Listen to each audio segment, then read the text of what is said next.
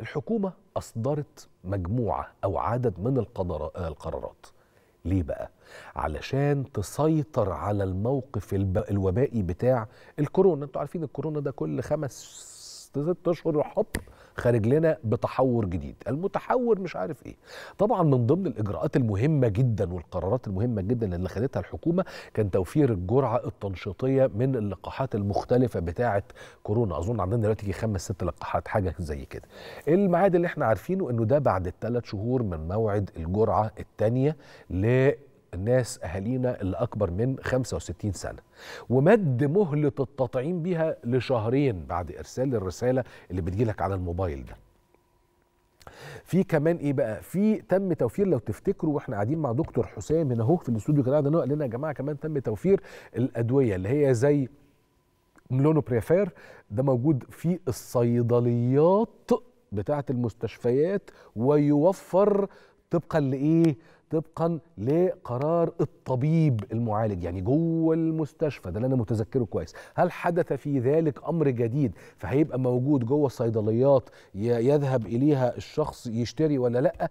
أنا مش عارف. طبعا في كمان اختبار الرابid رابid انتيجين برضه موجود في الصيدليات بس يعني موجود ومتوفر وأسعاره الحقيقة بدأت تهدى شوية. خلونا نفهم المزيد من التفاصيل حول هذه القرارات مع ضيفنا العزيز عبر الهاتف دكتور حسام عبد الغفار متحدثا باسم وزارة الصحة. أهلا أهلا أهلا يا دكتور. أستاذ يوسف آه، تحياتي لحضرتك يا فندم ولمشاهدي حضرتك الكرام. تحياتنا ليك يا دكتور. عايزين نفهم أكتر القرارات الأخيرة من توفير آه، ال ال ال ال الاختبارات ومن توفير أيضا العقارات والجرعات المنشطة. طيب خليني خليني أقول لحضرتك أستاذ يوسف بشكل آه، واضح. آه، كيف آه، تغيرت نظرة العالم والمؤسسات الصحية بناء على الخبرة آه، الطويلة اللي بقى لنا سنتين بنتعامل فيها مع الانتشار الوبائي لفيروس كورونا آه، إلى آلية التعامل أو طريقة التعامل مع الفيروس. في بداية الجائحة كان العالم والمؤسسات الصحية تبحث عن الوصول إلى صفر إصابات. وقامت الدول بكثير من الإجراءات سواء كانت متعلقة بقى بالعزل وال والمنع وحظر التجوال في بعض الدول والإغلاق في دول كثيرة عشان يصلوا إلى صفر إصابات. النهارده بعد ما بقى عندنا معلومات أكثر بعد ما بقى في دراسات أكثر تبين أن الهدف لم يعد هو الوصول إلى صفر إصابات ولكن أصبح الهدف هو ألا يكون هناك مرض شديد وألا يكون هناك احتياج لدخول المستشفيات صح وأن لا يكون هناك أي زيادة في معدلات الوفيات. صحيح طيب ده بيتم من خلال إيه؟ ده بيتم من خلال نشر الوعي من خلال زيادة معدلات التطعيم والتلقيح ما بين الفئات المستهدفة من السكان والمقيمين وبيتم من خلال اتباع الإجراءات الاحترازية. والحقيقة مصر كانت من الدول السباقة في التوازن ما بين تحقيق الصحة العامة لمواطنيها والمقيمين على أرضها وفي نفس الوقت عدم اتخاذ إجراءات من شأنها أن تؤثر بشكل قوي ومباشر على حياة المواطنين في بقية المجالات.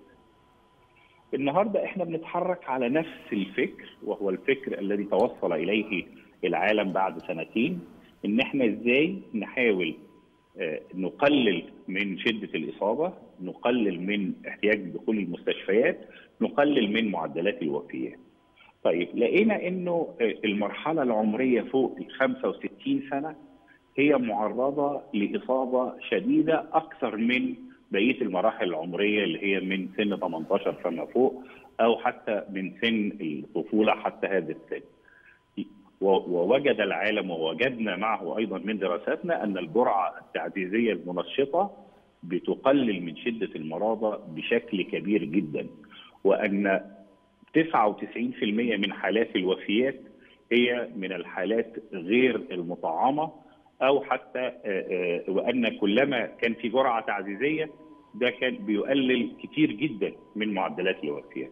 فكان الاجراء الذي اتخذته الدولة المصرية ممثلة في آه، الحكومة ووزارة الصحة بأنه خفضنا المدة البينية للجرعة التعزيزية ما بدل ما كانت ست شهور في آه، الفئات العمرية اللي فوق آه، آه، أقل من 65 سنة قلنا إن سن 65 سنة هنديه الجرعه التعزيزيه بعد ثلاث شهور بمجرد مرور ثلاث شهور من كامل التلقيح آه. سواء كان التلقيح دوت بجرعة واحدة زي الجونسون أو بجرعتين الثالثة هياخدها بعد ثلاث شهور بس ده حلو. كان الإجراء الأول الملاحظ كمان يا دكتور يعني أنا أقدر ألاحظ ده على الأقل في حدود الأصدقاء المعارف الزملاء مفيش حد بيطلب اللقاح سواء إذا كان الأول أو الجرعة التعزيزية إلا وتاني يوم بيقول له تعالى الطعام.